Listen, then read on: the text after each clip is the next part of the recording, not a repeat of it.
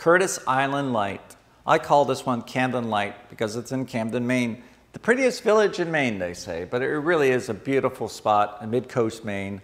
Uh, I think I was doing the Windjammer Festival during that time of year, and I drove through this, uh, just around these houses, and in a driveway, there was this perfect shot, I thought, of Camden uh, Lighthouse, um, Curtis Island Light.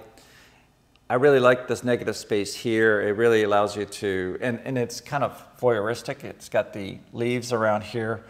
When you have art that has a lot of negative space, it does allow you to breathe more.